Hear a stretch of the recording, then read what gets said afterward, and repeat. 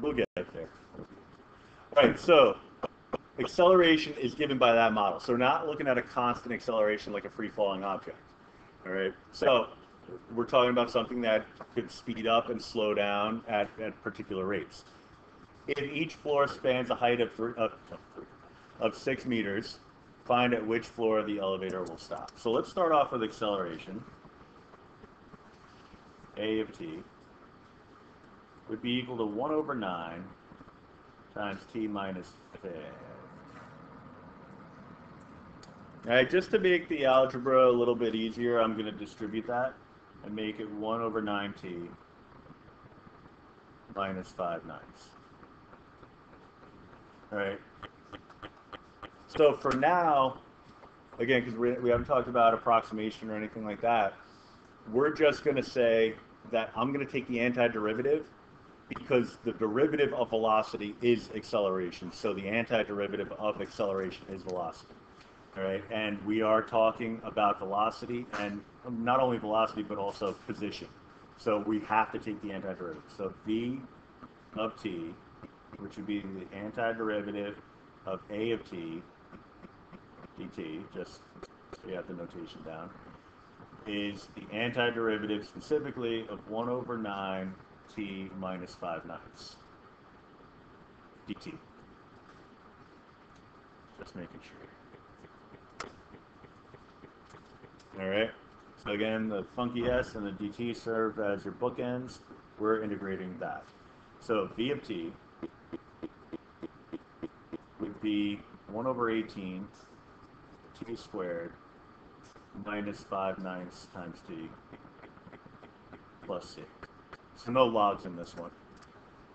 All right, increase the exponent by 1, divide by the new exponent. In the case of the first one, it's dividing by 2, which is the same as multiplying by 1 half. So 1 ninth times 1 half leads to 118, the, the second one. So at this point, we want to stop and figure out what C is. Otherwise, our position function is going to have a constant C in it, and that's just going to make this more complicated. All right, so they're telling us that it's passing the 50th floor with a velocity of negative 8. So I have a velocity, I just don't have a time. They didn't say when the starting time would be, or like at what moment. So what we're going to do is make an assumption, or actually just call it ourselves, and say that time t equals 0, so we're going to let this be the case. Let time t equals 0 be when uh, we're at the 50th floor. Elevator passes 50th floor. All right. All right, so that tells us a couple of things. It tells us, well, the obvious thing is that t is equal to zero, but it also tells us that the velocity at that time t equals 0 is going to be negative 8. And the position, which we'll get to in a minute, is the 50th floor, but we don't want to think in terms of floors. We want to think in terms of height. Question?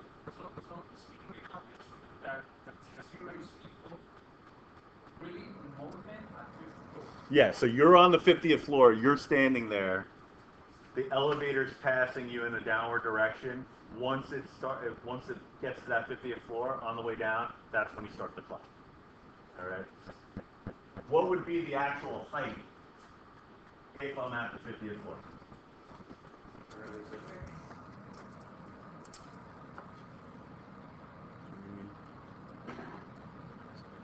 again, that's 50 times 6 because each floor spans 6 meters. All right, so pretty high ceilings in each floor. All right, so we have all that information. Only two pieces of it are relevant right now. That's this guy and this guy. So, back to blue.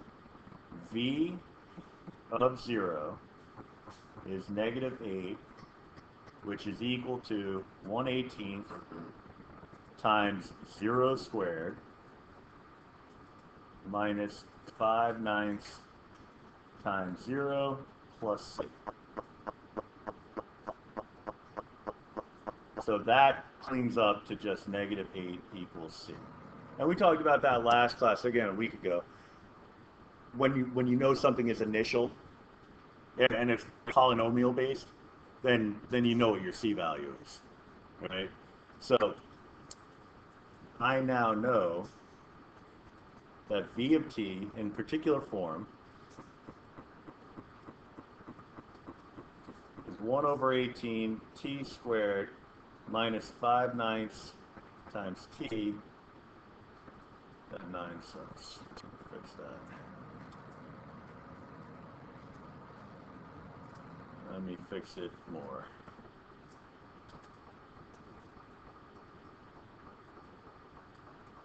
Minus 8. It's like the computer's telling me to go home. Alright. Now, if I need to figure out when the elevator is stopping, I just plug in a zero for velocity. Right? So, calculator sounds like a really great resource when it comes to that. But I also need to know at what floor, at which floor it's going to stop. So I, I need the position function. So before I kick over and do stuff on the calculator, let's get let's get all the calculus taken care of. Right? So I'm going to take the antiderivative of my velocity function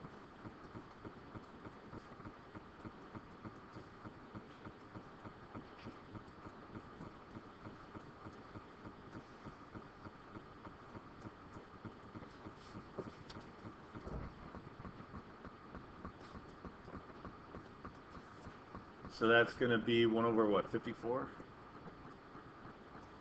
t cubed minus 5 18ths t squared minus 8t plus a new c. All right?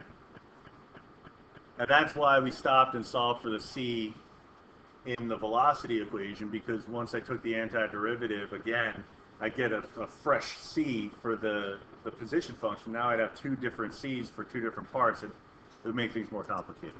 All right, I know that s of 0 is equal to 300. So that's just telling me that c is equal to 300.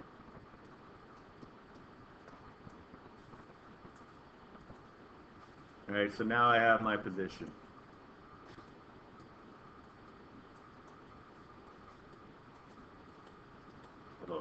Jeez Louise.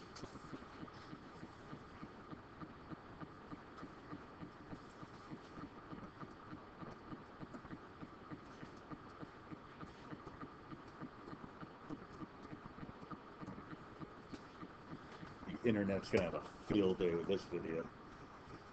So now I want to figure. I want to do the the, the non-calculus stuff. I want to do the uh, the pre-calc. So let's get my velocity into my calculator. And, you know, by all means, if you want, you know, complete the square, use quadratic formula, whatever you like. Uh, we have a quadratic formula program.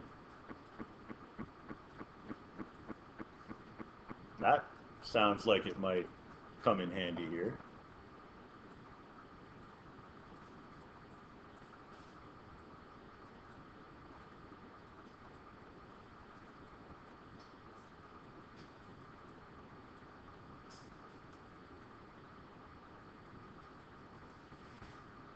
Right? So again, this is the result of setting my velocity equation equal to zero. So v of t would be equal to zero.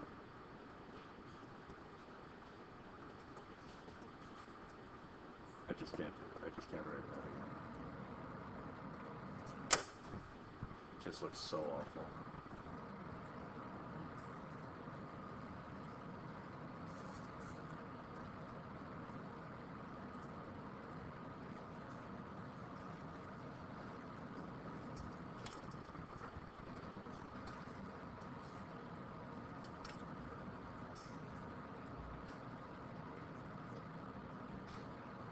So I have two pieces of information.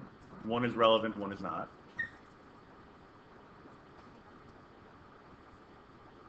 At rest after 18 seconds. All right, what this tells us is that eight seconds before it got to the 50th floor, it would stop. I don't know if that makes sense based on the, the, the actual physical constraints of the building. If there's only 51 floors, then that's probably not relevant just because I don't think it was only one. I mean, I suppose it could be, but it's probably not only one floor away eight seconds prior. But you never know. Um, and also, we would disregard the negative because it, the, the way the phrasing of the question is, we're talking find at which floor the elevator will stop. All right, it, it implies future. All right, so it's at rest after 18 seconds. All right, so I need the floor. So what I'm going to do here is evaluate my position function s of t, but evaluated for 18. And that'll tell me the actual height after eight, uh, 18 seconds. All right, this position model references time from zero and height from zero. So every measure that we're given is going from the ground up. All right, so I just need to pop this into my position model, which, eh. well, that part of, oh, I was looking at the wrong thing. This part is easy enough. I, I guess I just have to do it.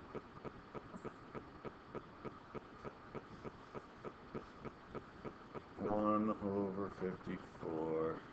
If I had the equation typed in, then I would evaluate it differently, but I didn't, so.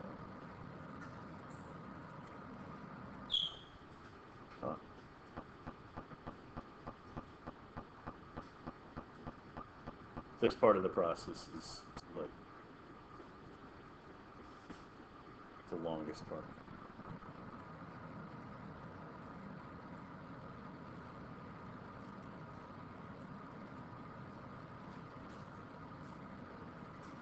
Oh my god.